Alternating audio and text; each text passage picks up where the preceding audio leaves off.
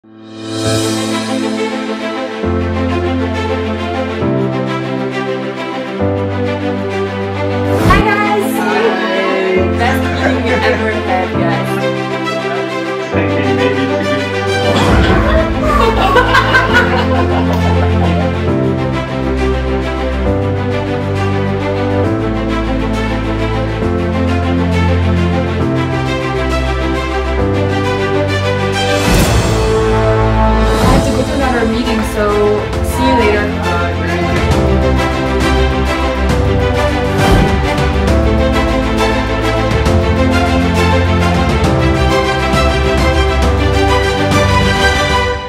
Yeah!